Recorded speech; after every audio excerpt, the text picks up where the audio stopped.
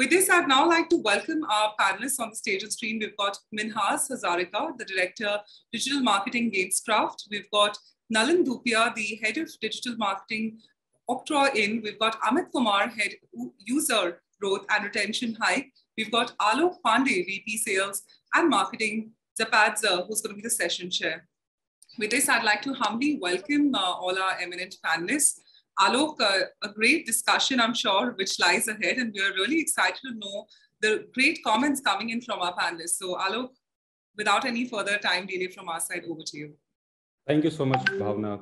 Thank you so much. Welcome all the panelists. Uh, I would like to welcome Minhaz, Nalin, and Amit.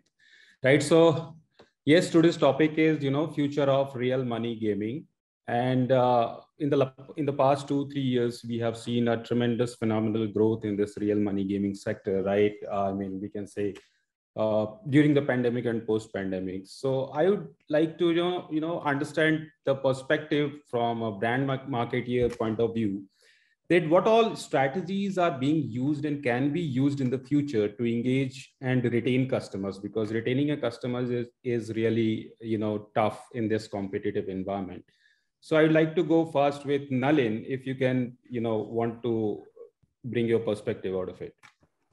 So uh, basically, to retain the customers, you like everybody we usually we have like basic strategies in place like we do the push notifications sms emailers calling systems IVR systems and remarketings right so, but the major uh, retentions we get is basically like if your friends or something or your referrals are playing the game, right? So that's the major focus where we always focus on the referral segments, right? Where you refer the, your friend and if he will be onboarded, obviously the, the chances of you retaining on the game will be much more higher, right? So usually we focus on those kind of things. Apart from that, uh, in real money gaming, usually uh, the basic thing which again matter is a, a timely like precautions, the way users are depositing their money, whether it's safe or not, the way they are uh, withdrawing the money, whether it's fast, it's safe. So these kind of basic things which matters a lot while we retain the customers because the customers usually in RMG looks out for these basic things, right? Mm-hmm. So apart from that, if you'll see uh, nowadays, a lot of guys are actually going or most of the companies are actually going from the uh, branding perspective as there where they are like dealing up with the big actors right? Usually that moves basic, basically moves towards the user acquisition but that plays a major role in retaining a customer as well. As your brand builds up the customers have more trust in your brand and they usually retain more on your platforms right? And but above all what i would actually say is what matters the very much is like your experience, the onboarding experience, the gameplay experience, the uninterrupted gameplay which you are offering. Because if that's not, it is will not work, right?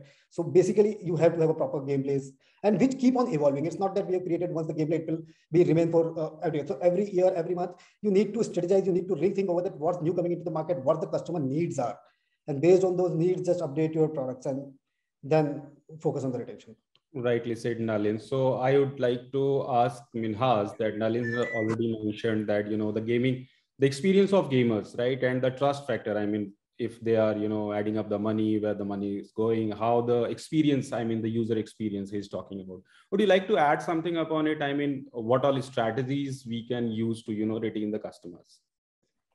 Yeah. Uh, uh, so resin. So we have to actually. I would. I would. I would love to go uh, uh a few step backwards and try to answer this uh, thing question because uh, uh, retention and churn has been a say critical question for everyone who is doing say user acquisition in this space right?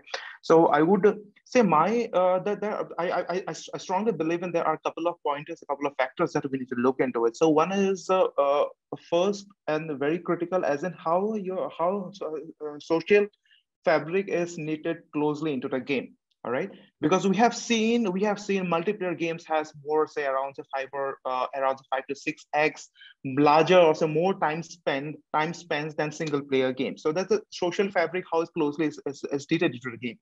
That's the one part of it.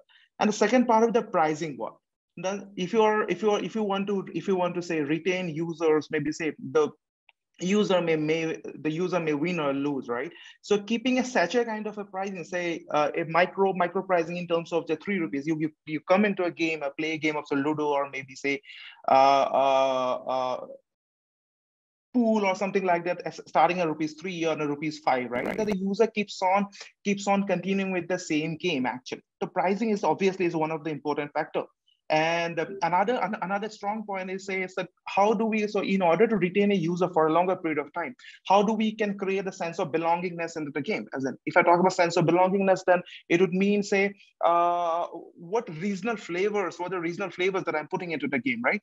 Uh, suppose for example in India, so if you have to one of the popular uh, uh, uh casual game is. The thing is Ludo basically. Ludo is something like it's like people have gone crazy and the way they have if you if you if you if you look at china right? Out of the 20 games that have developed say out of 14 out of 20 games they are locally de developed which has the regional flavors to it. So that people can connect to it. Mahjong for example taking mahjong or something else basically. It's like mostly i would say more regional flavored. So in india this something obviously we have to given a survey in the back in some some weeks back that i in some report i read about Right. So people are interested to try out games which has an Indian flavor to it, mythological, uh, uh, this characters or Indian themes. So another point which goes uh, what uh, my uh, uh, colleague uh, Nalin has said, right? So creating a very say safe ground for the players to come on board, deposit and play. You, you call it as fair play or call it as say anything anything which would provide a safer environment in terms of gameplay and experience for the user. Um, definitely definitely the user would stick to that particular brand or to put uh, to that particular game for a longer period of time for sure. Right uh, thanks minhaz. I mean amit you i mean has mentioned you know the regional essence in the gaming right which i so i'll pick up the cue from there where minhaz uh, dropped. So Amit, I mean, do you really believe that you know regional essence along with this, you know, the user experience uh, will you know help us to retain the customers in this competitive environment for them yeah okay yeah uh, absolutely i will agree with the, the the point all the point are mentioned by minhaz and uh, uh, Nalin. So I'll, I'll cover that too. I mean, in, uh, so I will, I mean, explain the main three things that we need to kind of uh, keep in mind while, uh, let's say, creating strategy uh, for user retention. First of all, I mean, it start like uh, Nalin mentioned, it start from the uh, day first. I mean, uh, from the onboarding, right? So it depends on what sort of I mean, seamless onboarding that you are providing to users, right? So, uh, I mean, uh, first thing, let's say one is like you may, I mean, ensure, okay, so the great onboarding is there. Like post that you need to ensure, okay, so you need to keep monitoring the user behavior within the game post onboarding process, how their behavior is what sort of a game that they are playing, what sort of a, let's say, blocker that they are facing within the game. If there are any, you need to kind of work with the closely with your product team to kind of enhance that thing. Another thing is, let's say, if you need to keep uh, monitoring users, uh, let's say, move within the game. Let's say, giving an example. I mean, so we have a call break, right? You need to keep monitoring. I mean, so what sort of a move that people are uh, taking uh, in the game and uh, let's say if you are seeing that a particular user is taking a wrong move again and again, provide the input to the, to the user to ensure, okay, so they are not taking these, these kind of move uh, in future, because if they will keep taking that sort of a move, it will, it will impact, I mean, so the, the higher chance that user will get churned out right? So one is it i mean continuously monitoring users funnel within the uh, i mean users funnel within the product and uh, i mean keep uh, sharing input next is uh, i mean so see people i mean when people download game they come for let's say some entertainment. So you need to ensure i mean what sort of a, sort of entertainment that user are getting from it. Let's say if there is a ludo if there's a normal game that is happening again and again you i mean people get bored at one point of time right? You need to ensure what sort of a i mean let's say uh, entertaining thing that they are getting let's say being at let's say some sort of a feature. Are you uh, adding some sort of a feature within the game B is, let's say, uh, is there any sort of a customized, uh, let's say, leaderboard happening uh, so that user engage within the game and they will keep playing?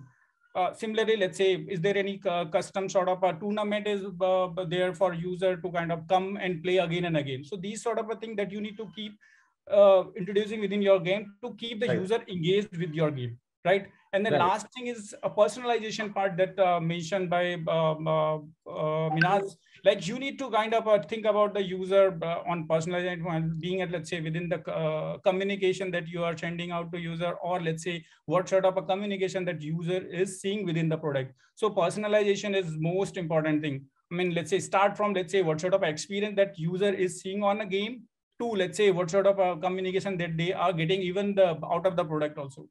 So yeah. Yes. So I mean, uh, yes, I mean there's multiple strategies we can use. I mean, uh, from the brand uh, marketer perspective, like the you know uh, regional essence along with the you know uh, user funnel with the sense of entertainment. I mean, what you guys have already mentioned. Now, so jumping on the uh, innovation and technological advancement, because these are the factors that are playing a significant role in creating this gaming uh, ecosystem.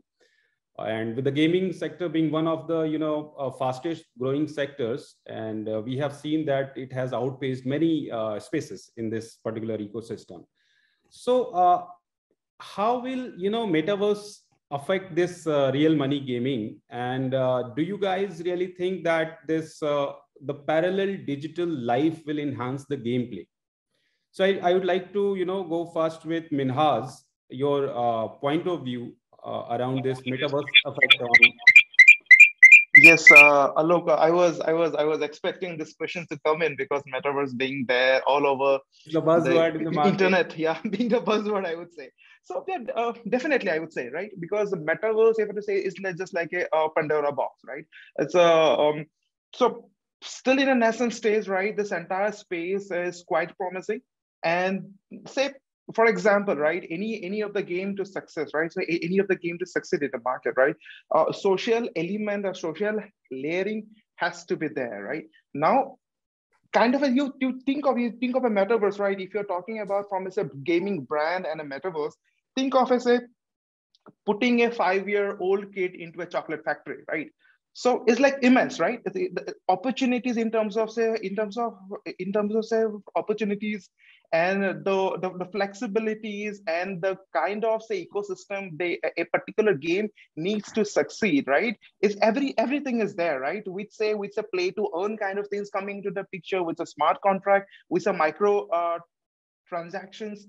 Now the real money game i'm, I'm pretty sure we'll see a definitely a, a, a very a, a, a huge change in, in in years to come actually. And it's it's not about it's not about limiting yourself to one game in the metaverse world right? It's a, it's about how you you can you are taking a part as in so once you are you are you're playing a game right? And you are taking a part of it with you right? With non-fungible tokens and stuff right? So you are taking a part out of the game and which you can use in another uh, another pit stop within um, metaverse. So this is like we, we, we are we are exploring a, a total different realm i would say uh, due to a total different realm for say uh, real money gaming for years to come for sure. Okay so uh, i mean uh, nalin i mean how the metaverse will affect the real money gaming? We were discussing about the minhaz. So minhaz is very much excited about it you know because uh, uh, how you think this metaverse is going to change? So basically to understand metaverse what is metaverse? Metaverse basically like the uh, a parallel world altogether right? Mm-hmm. so if you will see about gaming a kind of social elements are already present into the gaming right? Like in if you'll change shooting games or even in some games like poker even in our game like octro poker we have avatars. We have uh, uh, already have the skins available right? So in metaverse what is there? That these elements are already there. What we are looking out for to convert these things into the nfts the non-fungible tokens right the only thing is with the non non-fungible tokens is like they need to be unique, right? They, they cannot be copied or they cannot be transferred to anyone else like Bitcoins and all those things, right? Mm-hmm. So this is something where everyone is right now looking out for how to convert or these, how to create these NFTs. And when you are working in the metaverse, it's always essential that once you own the NFT, because you need to own the NFTs, unlike cryptocurrency or something, you uh, any user or any player has to own the NFT. So once the NFTs is being owned, how much and how they can carry those NFT into the other games or other worlds? Is there limitations to the single game? It, it can be used only to the uh, only one game where they have purchased that NFT with the cryptos, right? Again, uh, the metaverse always opens a room for other payment methods like cryptos and everything else, right? Right now, uh, we have even heard that few guys have actually uh, the co-founder Twitter co-founder has actually converted his tweet into NFTs, and guys have actually purchased that right? So these are some things you can physically convert anything to the NFTs when it comes to metaverse, right? And, and can sell, sell uh, and can sell it out in terms of crypto, maybe in terms of gameplay, maybe in terms of time you are spending on the platform. There are multiple ways. So now everyone is moving towards play to games uh, kind of thing, play to earn kind of games. And, and, and obviously real money is no different. So in real money, again, uh, if we look out for the futures, if we create avatars, if we create certain NFTs, then it opens a way for a crypto investors. It opens a way for the gamers to earn money out of the games even a lot more. And yeah, it's a whole new world. It opens a whole new world. So, wow, fantastic. Yeah. Yes. So Amit, I mean, uh, as Nalin and Minhaz has already mentioned, right? Uh, they are seeing a lot of, uh, you know, uh, gameplays and enhancement in the RMG with metaverse. Not talking about the nitty gritty and technologically, since we all are the brand marketeers. And from the marketing perspective, how you think it's uh, going to help us in getting more, uh, you know, entertainment centric RMG? Okay, so see, like uh, Nalin and minhaz mentioned the importance of metaverse, and especially in gaming. So we know, I mean, this is the new world, right? So uh, the new world uh, of internet, right? So uh, and then the, the, beauty of metaverse is is it enables us to kind of uh, use the the collectibles things like uh, nfts and other thing right? So and at hike uh, i think uh, uh, in this month only we launched our first nft to attract the users. So this is called i mean rush avatar that we launched as an nft and let's say as a user asset for a, a user identity for our let's say rush users where I mean, uh, I mean, we have a different sort of I mean uh, uh, layers in this uh, Rush avatar that people uh, can can uh, let's say leverage it during the gameplay. And the, how this is to answer your question, how this is helping us to we even we have already seen the good move in terms of I mean attracting the new users to kind of come and try the games. So yeah that is helping us a lot uh, i mean in terms of a i mean uh, retaining the user and then attracting the new set of a user uh, to come on board and try out. Fine so uh, yes i do agree i mean the nalin minhaz and amit uh, uh, regarding this metaverse and it's going to enhance the gameplay obviously let's hope for it right and how soon we are going to see the this metaverse effect on our rmg ecosystem especially in india so now coming to this, uh, uh, you know, uh, competitive RMG ecosystem, which we have seen in the past two, three years. This is the biggest challenge, I guess, from a brand perspective or brand marketeer, you know, to cater the consumer needs, which keeps on changing, you know, because sensations keeps on coming you know within a fortnight uh, you you can expect you know the new uh, technological advancement or new games coming up every month.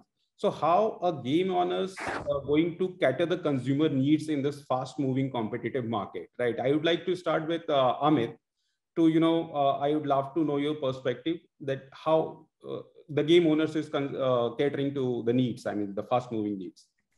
Okay, uh, so again, I'll give an example of uh, our organization. So we always uh, keep user at a center while developing any sort of a feature, uh, let's say uh, future need. So we always focus, I mean, the what sort of a need that user has and we always keep in mind i mean so uh, let's say what sort of a future need can be for a user. So uh, while developing any any any kind of a new feature we keep the, uh, the user need in place and we do um, i mean regular uh, research around the are the users okay what sort of a uh, new thing that they are exploring and then uh, kind of try to kind of build some feature around that and uh, always doing a regular sort of a research around how they are liking it, what sort of a, the new thing that we, they want to kind of see in the pro, uh, product. And always, uh, I mean, whenever we, we reach out to our product team, we come up with the, the list of things that people, people, uh, I mean, our existing user is already consuming and what sort of a, they ask that they want to see in the product. And yeah, so we, uh, uh, we discuss with the product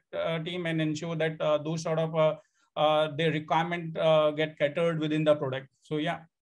Yes. So Minhaz, don't you think? I mean, this is the uh, very challenging, uh, you know, uh, in the recent scenario, you know, to cater your consumer needs because they they keep on jumping because they do have multiple options in the market, right? And to retain a customers is uh, really really tough from a, brand marketer point of view.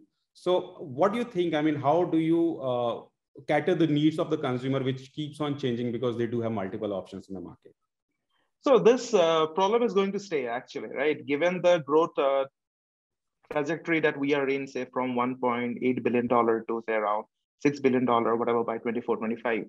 So this problem is going to stay for sure. Now uh, the thing is, consider uh, the the churn or the player fatigue is very high in casual and hyper casual kind of a game segment. All right, and uh, this is uh, this is because it's this is because the games within the casual and hyper casual category are very repetitive right? It, it depends upon the user right? Uh, the why the user is coming onto a particular say hyper casual or casual game to try out his uh, uh, skill basically. So generally generally it says okay if it's if it's there to say uh, this thing socialize or if he's there to seek thrill basically right? Now if the user or the player keeps on repeating or doing the similar task or similar steps within the game itself there's a high chances that the user would churn for sure right? So now so this is very uh, so this is uh, the thing is so that's that's the reason. So in india in india the arm if you if you talk about rmg as a space right? So card games has been there for some time now and fantasy sport has done I would say more than enough, more than more than decent work in the last couple of years, right? Now going forward is the time for casual and hyper casual kind of a segment, which which which, which says it would grow by another say 30% by 2024 and 2025. Now, keeping a sense, keeping an understanding with the user as to what kind of what kind of game they're interested in, say within the game, it's totally dependent upon how you are uh, making their gameplays or not i would say gameplays but the kind of time they're spending on that particular game as in longer right? Mm-hmm. if you're able to succeed to do that right the user not only it will stick to you not the user will stick to that particular game not to the brand but also it will give you enough long window to monetize that user to the user as well as the game basically. Right. So yeah so that is that is something that is something uh, that is something would happen. And uh, like what i have said in my previous uh, uh, uh, uh answer the thing is we need to build games which which has regional flavors to it. Regional flavors to it people can easily connect to it actually. Okay okay. So nalin i mean what amit and minhaz has already mentioned right that to retain a customer it is a challenge for from a brand perspective right so user experience is one which we need to improve to retain the customers. But how do you think because you know they do have multiple options in the market right? And uh, so, customers keep coming with new technological advancement with new features. So what are your uh, thoughts on it? How to retain customers. So, so, we, we have heard one line from a long right? Change is the only constant. So everything need to be updated with time. So so do the games right? So that's that's the that's actually the fact right? So now uh, how we can do that actually? So if if we are seeing that the game is changing the market is changing so here the game your game community and your customer support actually plays a major role. To let you understand what actually your customer needs are, what they are looking out for. Why, if there are a certain customers we are which are with you from a longer, longer time, now they are not playing your game, then you need to first know that why they are not playing. What are the other games offering? What, what, what, actually they are looking out for? These are the basic understandings once you have from the uh, consumer's perspective, right? You can then improve your game that what are the things which uh, which need to be added into the game, right? So, okay. so again, it comes to the same thing, same question against how to retain the customers, because right, because change, the things will come come up, right? New games will be there, new sensations will come around every day. Right? It's just that what is the best thing you can take out of from these new things, which is not already there in your game, implement that so that your customers can actually get the same thing within your games as well. Right. So these are the basic things uh, which uh, you need to do while uh, uh, you need to retain your customers or like cater your customer needs. Okay. So uh, while talking about the technology, since we are running out of time, so we uh, need to, you know, uh, be quick on this because I, I personally uh, was uh, very much interested to understand the, you know, importance of AI in RMG, right? So artificial intelligence. So what do you guys think? I mean, how it has improved since 2019 and what the future is going to be uh, of RMG with AI, right? So I would love to uh, understand the perspective of uh, Nalin first, that how is AI in RMG improved since 2019 and what can we expect in 2022 and beyond, right, in the real money gaming sector? right the artificial so, ai been already used into the rmg specifically for the privacy and security purposes right? We have like uh, secure account and hackings and frauds. We always use ai to protect users privacy which is like a very much important part right? Apart from that uh, again the cheatings and the frauds are, are, something which they're always there in the past. But now what we have uh, seen in the past or in the uh, what we can optimizing on is customized user experiences, right? So whatever user inputs are, what they are playing, how they are playing, which particular game they like, which kind of purchases usually they made, right? These everything goes into AIs and based on those you offer certain things, you offer them, you show them certain things, pop-ups. So these are all UI bits. Apart from that, uh, to retain the customers, there is a proper matchmaking, right? The AI helps you in always in the proper matchmaking, how the matchmaking is happening into your games, right? So this again comes into the AI's component. So AI helps you out in all those things right? That's and great. in future, obviously, the I am assuming that chatbots and the support services will again go into the AI system where they can actually understand previous needs of the customers and can enhance the chatbots accordingly with the AI. Right. So, uh, I mean, Minhaz and Amit, since we are running out of time, so I just want to, you know, wrap up the session with a quick note that yes, RMG, we are seeing a lot of growth in the coming future right? And uh, you know the, being the biggest revenue generator and you know advertising spender we can see a lot of growth in this sector. And uh, uh, thanks for coming i mean thanks for giving your time on a friday evening right? Thank you so much amit nalin and minhaz uh, that's all. Uh, i'll ask bhavna. Thank you so much alok. You know i was really intrigued with with the entire discussion. And, you know, we were just having a conversation in the back end that we're so privileged and honored to have all our eminent speakers because every, uh, you know, uh, topic is giving us a great insight into something which could become uh, huge and which is, of course, already huge uh, in the industry. Kudos to all the men leading it from the front and we wish you all the very best. And we Thank hope you. to see you in further conversations ahead. Thank you so much. Thank you so much. So, thank, thank, you. you. Thank, you, yeah. Thank you for your valuable time.